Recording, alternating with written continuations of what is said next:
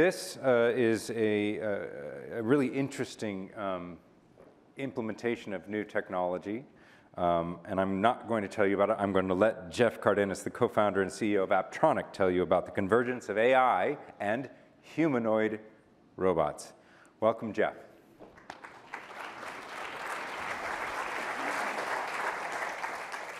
All right, so this should be a little different of a talk for the afternoon. Uh, first, thank you guys for having me here. My name is Jeff Cardenas, and I'm the co-founder and CEO uh, of a company based in Austin, Texas called Apptronik. And so what I'm going to talk to you guys about today, this is really just educational to give you guys an idea about what's happening in robotics and in AI and how generative AI is really intersecting with robotics as a whole. And we're going to really walk through the journey of robotics and how it um, is evolving and really we're experiencing some big changes across the industry as a whole. Uh, but first, a little background on Apptronik and, and where all this came from. So Apptronik got its roots in the University of Texas at Austin. I started the company with a friend of mine and a professor uh, coming out of a lab called the Human Centered Robotics Lab. And in the lab, our roots were working with NASA Johnson Space Center on the robot you see here in the middle, a robot called Valkyrie And it's a really interesting story in terms of how Valkyrie came about and really the roots of the modern robotic industry as a whole. So it really happened in the wake of, of the Fukushima disaster.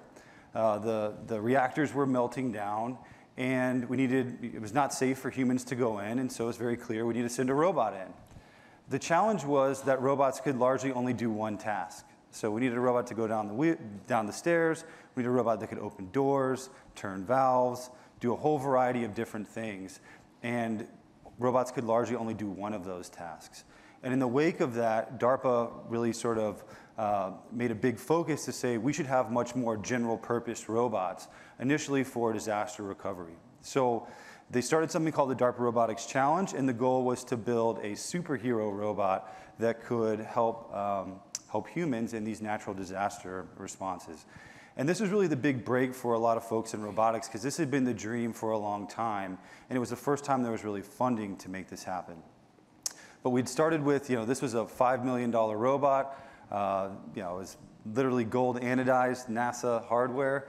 And our goal was to get to a sub $50,000 mass manufacturable humanoid robot that could go from the lab out into the real world. And turns out that is much easier said than done. Uh, we, we did not know what we were biting off, and maybe that was for the best. Um, but now here we are today. We have 125 employees. We're working with folks like Mercedes and GXO and a whole host of others uh, to get these robots out into the world. And I'll talk a little bit about that as I go through this. The simplest way to think about this, my early pitch was today we have thousands of robots that do one thing. The future looks like one robot that can do thousands of different things. And when you see something like a humanoid robot with all the science fiction, this seems like a, you know, sort of a crazy idea. But we've gone through this before. We've also gone through the same fears that we have today about robotics before, and that happened in computing.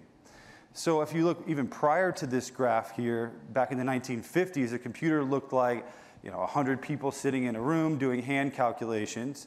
It's a big step forward once we had the mainframe computer It's somewhat more versatile than sort of special purpose computers, think calculator or something like that.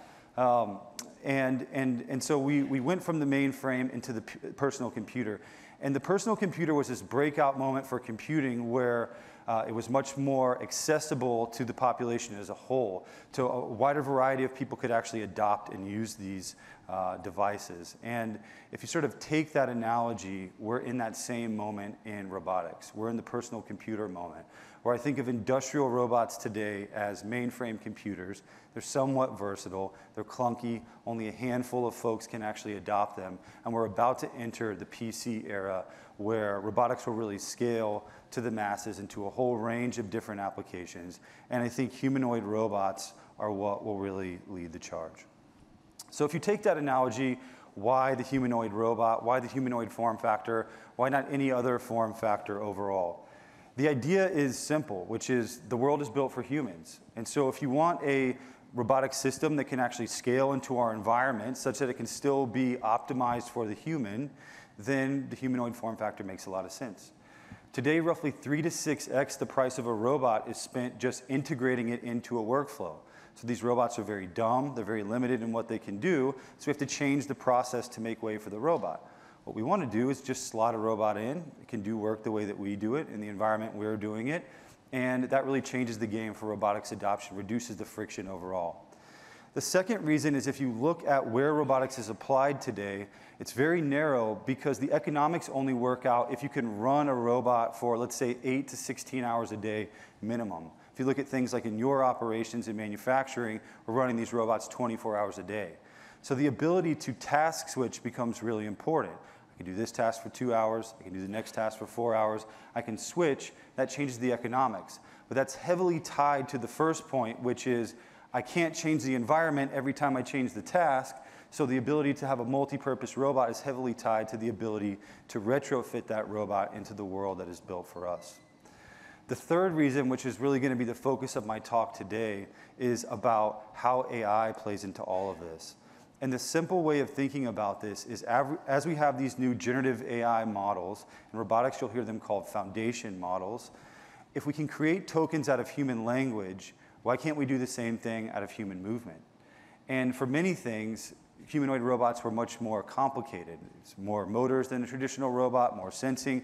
I'll talk a little bit about that. But when it turns out when you're applying generative AI, they're actually much more straightforward we can actually train with big data sets of humans doing tasks and directly apply that onto a robot that's doing tasks in the same way we do it. And that's creating a massive tailwind overall. All right, so I wanted to walk folks through the history of robotics here. So we had the first industrial robot was introduced in 1961. It's called the Unimate arm. Um, it was introduced in a General Motors factory uh, here in the US. The first mobile robot was in 1970. It was a robot called Shakey. And then, you know, it's interesting if you trace back humanoid robots as a whole, humans have been trying to do this for thousands of years. The first humanoid robot was recorded in, I think it's like 300 BC in China, an automata. This idea that could we build a tool for ourselves that could do all the things that we don't want to do so that we can spend the time the way we do want to spend it uh, has been around for a long time, but the technology hasn't been there. So you can see the early roots of actually having some of the technology capabilities. But then, as I mentioned, it was the DARPA Robotics Challenge that really started to put all of this together to actually make it feasible. We had a big moment in the industry and as a company last year when we introduced our first robot, a robot called Apollo. So the robot you see here in this video is our eighth iteration of humanoid robot.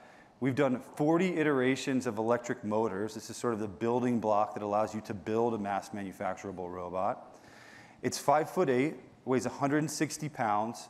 It operates with swappable batteries, so you can continuously keep it going.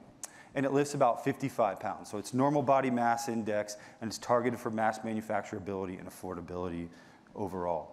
And this was really sort of a step change, and this is the very beginning. So if you take my analogy for personal computers, Think of this as the personal computer in the early 80s. And this is the shift, right? We're, we're moving from special purpose robots that are very limited, that are not safe to be around humans, that are difficult to program, into this new world of general purpose robots that are safe to be around, that are adaptable, that can communicate with us in a variety of different ways, and that really changes everything overall. But how does that happen, and what is driving that?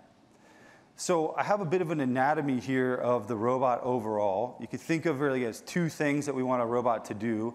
Mobility, move around the world, and manipulation, the ability to manipulate and interact with the world. Then you have the software that sits on top of that overall. This looks complicated when you put this together, and, and it actually turns out it, it is fairly complicated, um, uh, as, I, as I've learned along the way.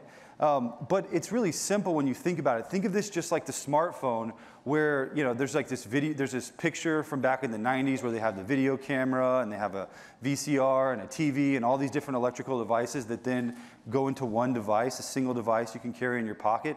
This is what's happening in AI and in the physical world, right? All of these disparate systems that we've had, smart computer vision systems, a variety of different types of robots, different types of compute, GPUs, CPUs, it's all gonna come together into my view, the ultimate form factor that allows us to do a whole host of different things. All right, so I talked about this idea of generative AI and how it intersects with robotics. The, another sort of simple analogy of thinking about this is the next big wave in AI is the shift in the translation from the digital world, where the computer is stuck, you know, trapped behind a piece of glass, into the physical world. And so, how are we doing that? So, I mentioned the idea that we can create tokens out of human language and we can do the same thing out of human movement. How do we do that? Well, the holy grail for us is to do that from video. So, we want to be able to show a robot what to do once and the robot can do it. That's called zero shot learning. But the way that we're bootstrapping our policies today is doing something called teleoperation. So we remotely control the robot in task, in a situation, and we collect a variety of instances of teleoperating the robot. We can use that to build massive data sets, which then we combine with other data sets as well to get the robots doing uh, a variety of different autonomous tasks. The videos that you see here is work that we did with NVIDIA. We've also done this work internally and a variety of others, but you've heard a lot of talk with Jensen and talking about their new foundation model called GR00T for all the same reasons that I'm talking about uh, here today. The big question, I think, from a lot of people is why, why do you have to do that in the physical world? Why can't you do that actually in the uh, digital world? It's very expensive to scale teleoperation. And the short answer is you can do it in the digital world, but our simulation is not good enough yet to fully simulate what happens in reality. So we combine this teleoperation happening on the robot with simulation, and the, the output video should show a real robot. I'm not sure what happened to the slide here. Uh, but we can run things in simulation, simple things like locomotion, and we can apply that and put that together. And what we're doing then overall is we're starting to build data sets of a variety of different skills, which we can stitch together over time um, to do a whole host of different tasks. And that's really the holy grail and the promise and the, and the beginning of all of this overall. And like I said, where we're going is you show the robot what to do, and the robot can do a whole variety and host of different tasks. Um, and that is a big vision uh, of where these robots go overall, and so you got to start somewhere. And so I wanted to sort of close out here by talking about how I see the market evolving over time. Because the question I always get is, when is this thing going to do my laundry? Which, you know, I'm, I'm working on that. I promise I, I want laundry and dishes as well. Um, but that's an even bigger challenge. There's a high degree of variability in the home. And the, the simple way of thinking about it is we're moving what we call in robotics structured applications to increasingly unstructured. So structured means the environment is predictable, we can control that environment in some way, we can control the task in some way, and then we're moving to unstructured. So think of the bookends of automation where I showed you we started with a robot in the factory back in the 60s think of the Holy Grail is going to the home and to everybody's home. And for me personally, what got me into all of this, the Holy Grail for me is robots for elder care, a robot that can help uh, take care, hopefully, of my parents as they get older, take care of me. Uh, and I think that's sort of the objectively good future where this will go. Humans are tool makers, and we can now build tools for ourselves that enable us to do much more than ever before. And now that's moving from being confined to the digital world into the physical world. And we want to continue to have a world that is built for all of us. These are some of the applications just to get down to the brass tacks of like where you're going to see these robots in the near future. Based on that sort of market paradigm, where the market opportunity sort of meets the technology readiness is in critical industries where we have massive labor shortages. I think you guys all experienced this in your business, but the world experienced this during COVID. We have major labor shortages across our critical industries, particularly in manufacturing and logistics. And so uh, there's big opportunities and a big need and somewhat structured applications where we can get fleets of these robots out to start doing data collection. So it's the beginning uh, of this journey, and it's really exciting to think about where this goes the next 10 years from now.